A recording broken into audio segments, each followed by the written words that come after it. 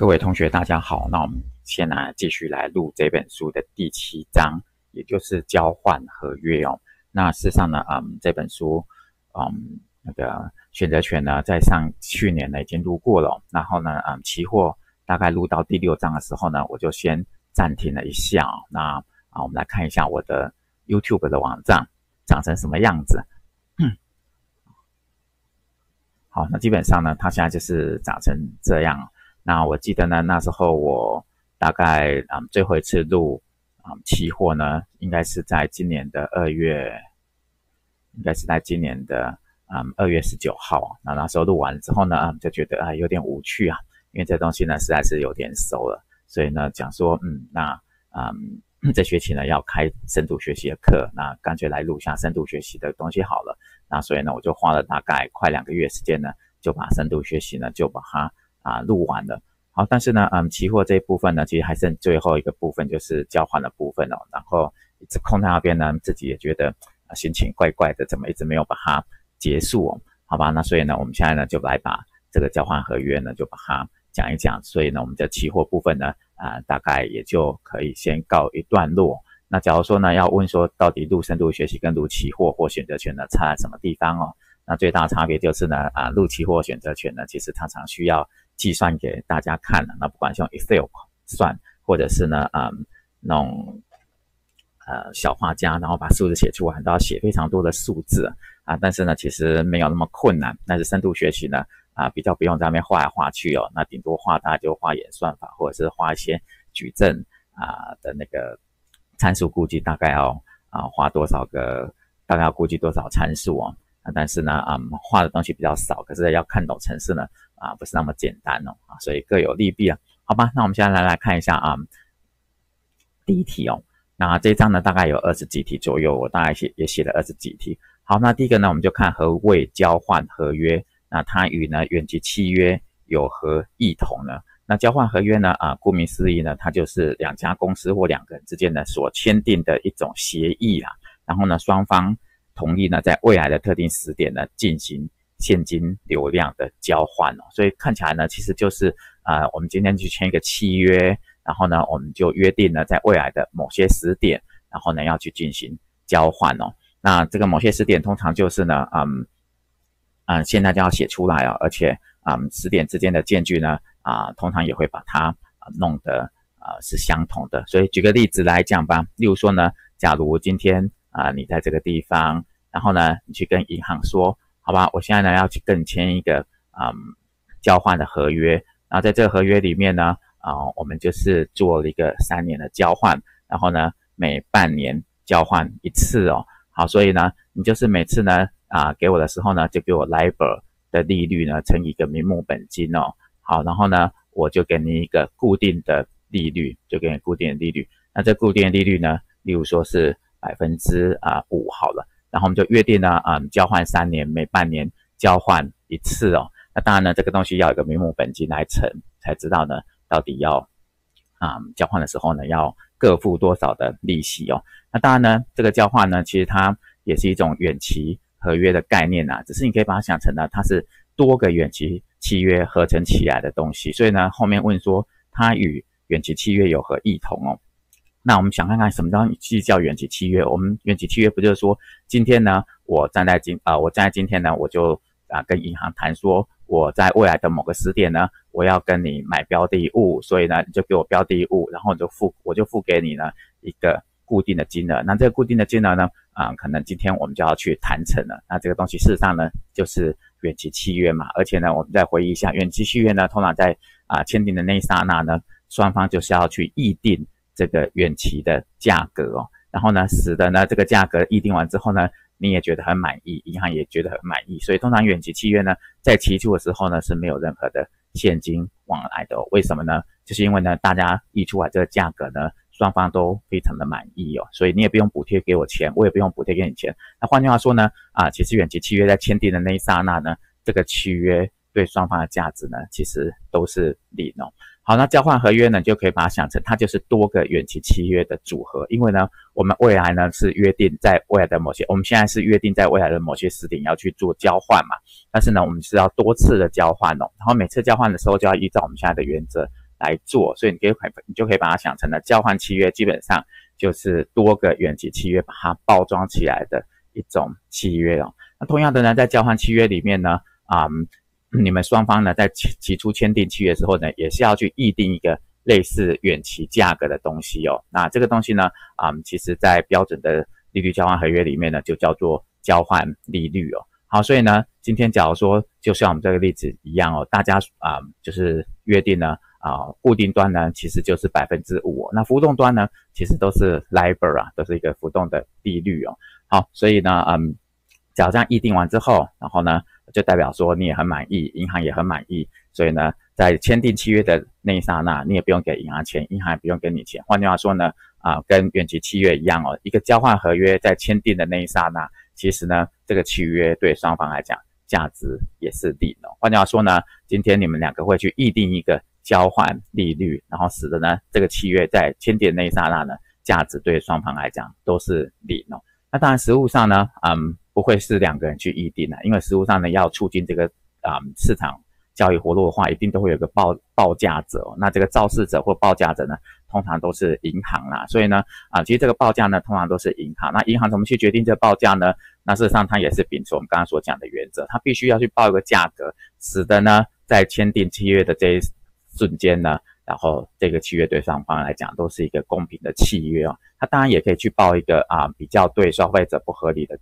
价格啦，但是呢，市场上啊，竞争者这么多，这么多银行呢都在报这个交换合约的啊交换利率哦，那只要报的太离谱的话呢，可能就没有人跟你做。所以呢，在市场竞争的啊压力之下呢，事实上每家银行报出来的这个结果呢，都差不了多少。那换句话说呢，这些啊数字呢，也就是这些交换利率呢，都会使得这个契约呢，在签约的那一刹那，对双方来讲呢，大致是一个公平的契约。好，所以呢，这题我们就。回答到这边了，交换合约基本上就是呢，呃，两家公司所签订的一种协定哦，双方同意在未来特定时点进行现金流量的交换。那它与远和远远期契约有何异同？其实呢，基本上它就是远期契约，只是它是多个远期契约的组合，所以你可以把它想成了交换契约，基本上就是远期契约的投资组合。好，那我们看一下第二题哦，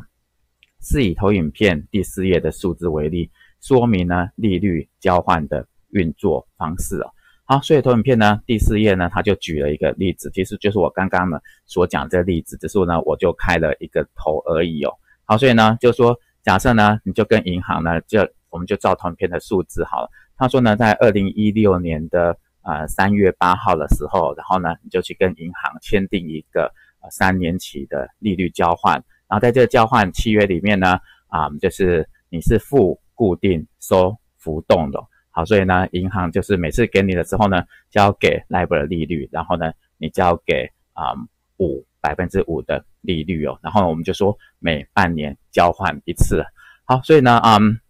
在二零一六年三月八号的时候，你们两个人就去签约哦，好，那第一次交换的时候是什么时候呢？事实上就是二零一六年九月八号的时候，这是第一次交换的时候。好，那我们来看呢，你到底会收到什么？然后你要付出什么东西？那因为呢，在这个利率交换里面呢，你是收浮动，然后呢去付固定嘛，你是收浮动啊，付固定哦。好，所以呢，我们现在看一下固定的部分呢，啊，就比较没有什么太大问题啊，因为固定的部分呢，当初双方就已经讲好，就是呢百分之五嘛。好，所以呢，我们假设呢，啊，你的名目本金哦是一百元的话，那通常呢，啊，这个利率本身是没有办法啊。交易的利率一定要把它变成是钱，所以呢，利率怎么变成是钱呢？通常就是呢，要有一个名目本金，然后乘以利率，然后通常再乘以计息的期间，那这样的话呢，才会变成是钱出来哦。好，所以呢，啊，在这例子里面就是收固定，哎，收浮动付固定，因此呢，在第一次的利息交换日，也就是二零一六年九月八号的时候呢，那事实上呢，你就是负百分之五，但是呢，百分之五是年利率嘛，所以呢，半年的话，你就是负啊。二点五块钱就是一百呢，乘以百分之五再除以二。好，但是你会收浮动啊？这时候这个浮动到底是怎么收呢？那它呢是看啊第一次利息交换日那时候市场上的六个月的 LIBOR 利率嘛。我们这边呢要讲清楚一点哦。假设它是六个月 LIBOR 利率哦，那通常呢标准形态的利率交换呢，就是说你今天假如是呢啊半年交换一次的话，那指标利率呢就会是啊半年的浮动利率。按假如说你是一年交换一次的话，那指标利率就会是一年的浮动利率，这个是标准形态的利率交换了。好，所以呢，等到二零一六年九月八号之后，然后这是第一次利率的交换日，那你收的浮动到底会收到多少的利息呢？那难道看的呢是二零一六年九月八号那时候的 LIBOR 利率吗？其实不是哦，事实上真正看的呢是上一次，也就是半年前呢，二零一六年三月八号的这时候的 LIBOR 利率哦。那可能就会说，为什么是这样子呢？那不要忘记哦，利率这种东西呢，你一定是要有一段时间让它去累积利息的嘛。也就是说，标准的那个啊利率市场呢，通常利息都是需要一段时间去累积的。所以呢，你假如说二零一六年九月八号的时候，你要收到浮动的利息的话，那不可能呢。看那时候市场上的 LIBOR 利率啦，一定呢，你需要一段时间呢，去让它累积利息哦。那因为呢，啊，我们的标的是六个月 LIBOR 利率，所以在标准形态的利率交换里面呢，其实通常就是看六个月前那时候的 LIBOR 利率，也就是呢，你在签约那时候呢，你就看见一个 LIBOR 利率，而这个 LIBOR 利率呢，就是用来决定呢，下一次你可以收到多少。浮动的利息哦，好，所以呢，嗯，我们现在讲都是标准形态的利率交换，当然有一些非标准形态的，是可以去看当天的 LIBOR，然后呢就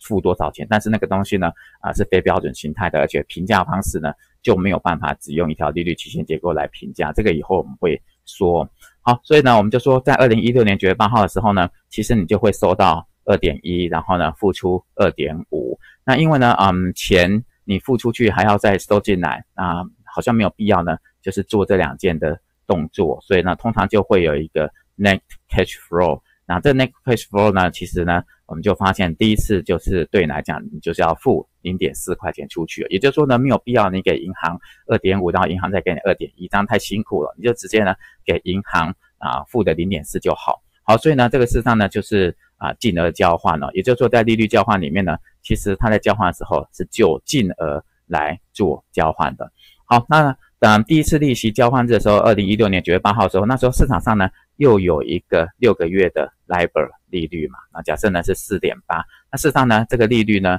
就是用来呢啊第二次利息交换的时候，那时候呢浮动端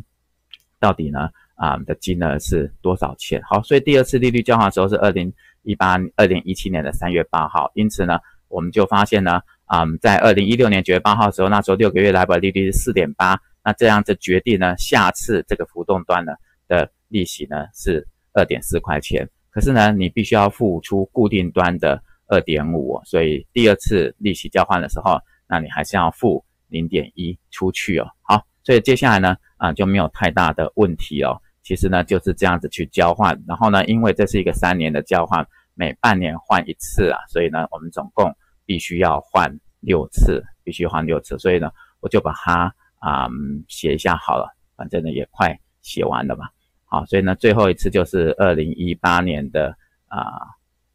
呃，这不是最后一次啊，二零一八年的九月八号是第五次哦，然后二零一九年的三月八号呢才是最后一次啊。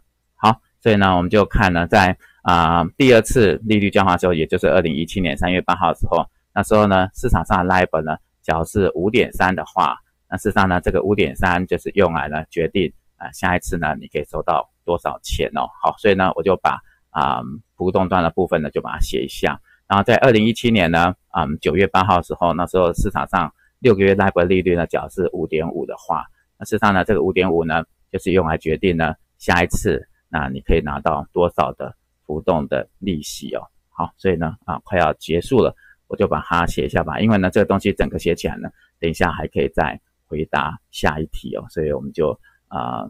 花一点时间把它写一下吧。好，然后呢，啊，这里是五点九，那你一定会觉得很奇怪呢，为什么我都不直接拿投影片来讲？因为事实上呢，直接拿投影片来讲呢，嗯，可能不大好，我不知道会不会有什么版权的问题哦，所以呢，我就。啊，用手写的啦。那嗯，那你可能也会问说，为什么我不去弄一支手写笔啊？因为当初想说，我们就来试看看呢，在不做投影片的情况之下，全部用滑鼠写的情况之下，到底会怎样？就想到这样就快过了半年了，好吧？我们看一下呢，二零一九年三月八号呢，其实就是最后一次的利率交换日，利息交换日了。然后呢，浮动段的部分呢，就是要看半年之前六个月 LIBOR 利率哦，就假设是五点九的话，那就呢代表最后一次浮动的部分呢可以收二点九五哦。好，那当然呢，最后一次利息交换日的时候，这个六点四就没有用了啦，就没有用，因为呢我们已经交换了六次了。好，那固定端的部分呢，其实都是负的二点五，都是负的二点五，负的二点五。好，负的二点五。好，所以呢，这样子的话呢，啊，假设未来这几年呢，那啊，浮动利率呢的走势就是像我们这边所写的。好，这样的话呢，我们就可以把这整个利率交换呢的现金流量就把它给写出来了，就把它给写出来。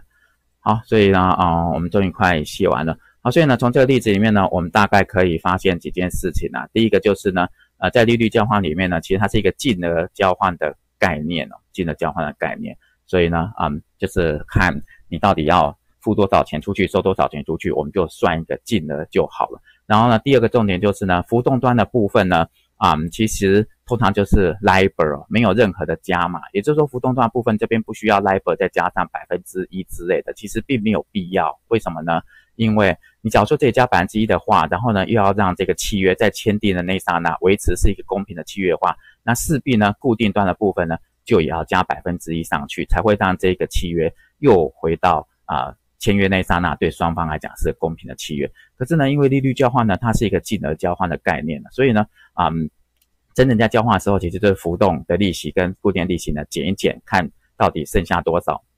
我们就净额交换就好了，所以真的没有必要呢。浮动的部分呢，再加百分之一，然后固定的部分呢，啊，因为要让这个契约在签订的那一刹那呢，对双方来讲是固定的，呃，是个合理的契约，所以呢，固定端要加百分之一哦，其实并没有必要。好，那换句话说呢，嗯，标准形态的利率交换呢，其实浮动段的部分呢，就永远都是 LIBOR 利率，都是指标的利率哦。而且呢，通常你只要是半年换一次的话，那啊，指标利率就会是。半年期的一个浮动的利率，那固定段的部分呢？啊，理论上是你要跟银行去议价，然后呢，议出来的这个值呢，嗯，事实上就是在签约那刹那，对双方来讲是一个公平的值。但实物上当然都是银行去报价，但是银行呢也不会报得太离谱，银行它也是呢会根据今天的利率期限结构，然后来来算一个合理的交换利率。那通常它还会呢。再去加码减码，然后一个呢就是变成是像买价，一个就是变成像卖价，它就可以赚中间的价差的部分哦。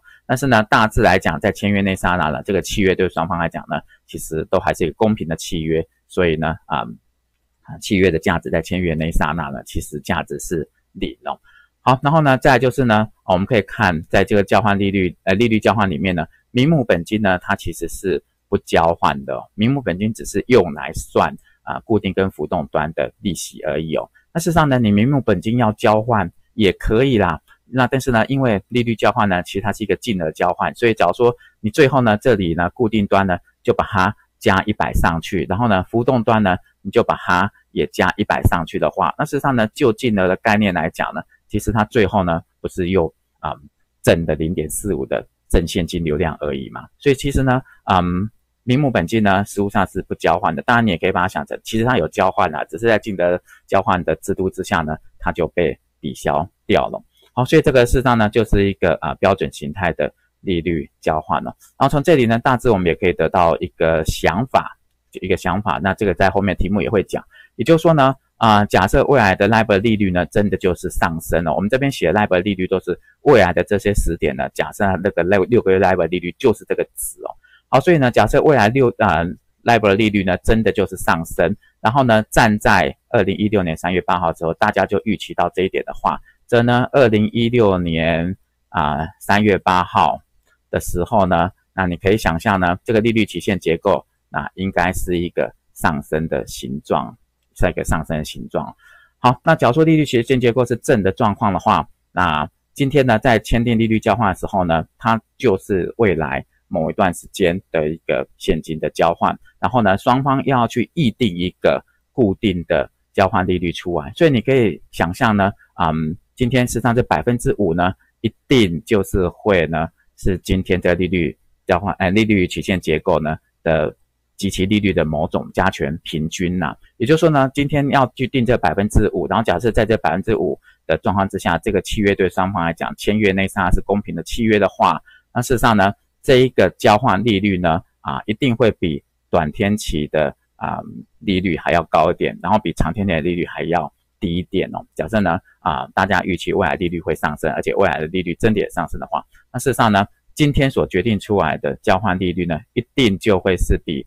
短天期的利率还要高一点，然后比长天期的利率还要低一点。那这样的话呢，才能够维持呢，啊，这一个利率交换在签订那一刹那呢，对双方来讲都是公平的。好，所以你可以想象呢，假如说你是这个例子哦，你是收浮动负固定的话，然后呢，现在利率曲线结构是上升的话，那其实呢，你在签约那一刹那，你可以去想象呢，这个契约刚开始呢，啊，这个交换契约呢，刚开始前几个远期契约的部分呢，其实对你来讲都是负的价值，都是负的价值。然后呢，渐渐的呢，后面这些契约呢才会是正的价值，然后最后呢，达成啊，这个契约对你来讲呢，在签订的那一刹那，你的预期呢？是啊，不赚不赔的，是一个合理的契约哦。那这个是我们后面有些题目会问到的，就是说在正的利率期间结构之下，假如说你是负固定收浮动的话，那其实呢，啊，这些利率交换里面里面的每一个远期契约呢，对你来讲，刚开始呢，啊，这些远期契约呢都是负的价值哦。然后呢，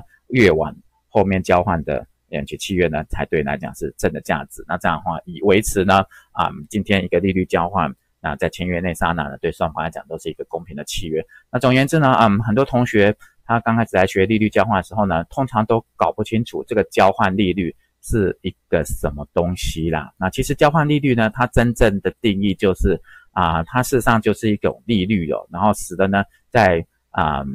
利率交换合约里面，在签约那刹那，对双方来讲呢。啊，这是一个公平的契约。事实上，这个东西就是交换利率哦。那交换利率怎么决定的？其实还是从今天的利率期限结构去决定出来的。所以呢，假如说你今天对交换利率还是很不清楚的话，你就把它想成了交换利率基本上就是今天的及其利率的很复杂加权平均啊。也就是说呢，是不同天期的及其利率的一种很复杂的加权平均哦。好，所以交换利率呢，基本上就是。今天的及其利率的一种很复杂的加权平均，然后呢，它基本上还是跟市场上的利率水准是有关系的啦。所以，假如说呢，今天的利率曲线结构是往上的话，那基本上呢，呃，这个交换利率呢，啊，还是会比较高。那假如说呢，嗯，今天市场上的利率水准是比较低的话，也就是说，现在经济体系较利率水准偏低的话，通常交换水交换利率呢，它的值也会比较低啦。总而言之呢，你就把它想成交换利率。基本上它终究还是一种利率，只是呢，它是其实利率的一种很复杂的加权平均，它的走势或是它的啊那个值的水准呢，其实还是会跟市场上的利率呢是保持大致同方向的关系。那只是呢，因为它是嗯即息利率的一种很复杂加权平均哦，所以通常交换利率呢，它会比较波动小一点，它波动度不会那么的大。那你想看看一个东西，你已经你你已经把它平均了，那平均的东西呢，通常啊波动度呢就不会很大，那这个呢也是很正常的，也是很正常的。好，所以呢第二题呢啊，其实我们已经把后面的很多观念呢都已经把它大致先提一下，那之后我们再看的话就可以讲比较快一点了。好，我们看呢第三个，为什么利率交换呢啊也可以视为固定利率债券跟浮动利率债券的交换了。好，那我们呢刚刚在介绍利率交换的时候说，其实呢它是远期契约的一个投资组合，也就是呢在交换契约里面呢，那像我们这个例子里面，你未来要交换六次，事实上呢这未来的这六次交换的每一次，你都可以站在今天呢把它视为就是一个远期契约啦。那也就是呢今天去跟他议定好一个一个值，然后呢到期的时候呢，你就是。付出那固定的值，然后收到标的物的感觉啊，所以呢，我们刚才说利率交换契约基本上它是一个远期契约的投资组合。那我们在讲这件事情的时候，基本上就是呢，把这现金流量横着看，横着看，就我们这交换六次呢，我们就会有六次的远期契约。可是事实上呢，呃，你也可以把这个现金流量直着看呐。那什么东西叫把现金流量直着看呢？就说你今天假如呢是收浮动负固定的话，然后你的现金流量不就是二点一、二点四、二点六五、二点七五、二点八吗？那假如说呢你最后一次呢再把这一百块钱加回去的话，最后就是一百零二点九五。那你会不会觉得，哎，这个黑色部分感觉起来就好像是买了一张固定利率的债券呢？好，那同样的呢，浮动段部分呢，我们只要把最后一次的一百块钱呢，也把它加进去的话，哎，刚是浮动段的部分了，就是黑色的这部分呢，看起来呢就像是买了一张浮动利率的债券。好，那我们看一下固定段的部分呢，啊，这边假如你把最后一百块加进去的话，然后呢，你就把这边直着看，你就发现，咦，这个东西呢，感觉上就好像当初呢去放空了一张啊固定利率的债券哦。好，所以我们说呢，在利率交换里面呢，你只要把这个现金流量值得看的话，然后就我们这个例子里面，你是收浮动付固定，所以呢。感觉上就好像是你去买了一张浮动利率的债券，同时呢去放空了一张啊固定利率债券了。好，所以我们说呢，利率交换契约角现金流量值得看的话，它真的是可以把它看成呢就是固定利率债券跟浮动利率债券的交换哦。好，所以呢，你假如说你今天呢是收浮动付固定的话，就等同于你好像买到一张浮动利率债券，然后呢去卖出一张固定利率债券。按假如说呢你是嗯。付浮动收固定的话，你可以把它想成呢，在这个利率交换契约里面，你好像是买了一张固定利率债债券，同时呢去卖出一个浮动利率债券了。好，这个就是呢啊我们第三题我们的回答。